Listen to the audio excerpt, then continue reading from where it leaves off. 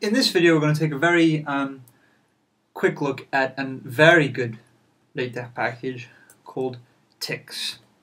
So use package Tikz and what Tikz allows us to do is to draw pictures right within um, LaTeX.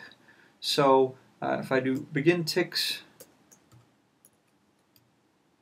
Tikz picture and we'll end Tikz picture.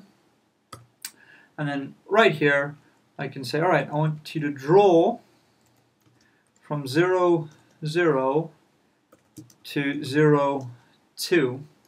Um, and then every Tikz statement, so within a Tikz environment, we need this um, semicolon at the end of all uh, Tikz statements.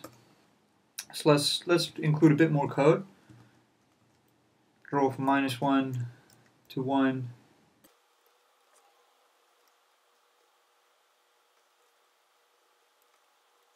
And what we can also do is there, there are lots of Tikz commands.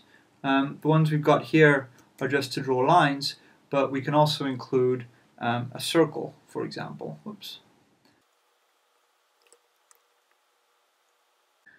And that is just some very, very basic Tikz commands. If you look online, there's so many great examples of things that you can do with Tikz.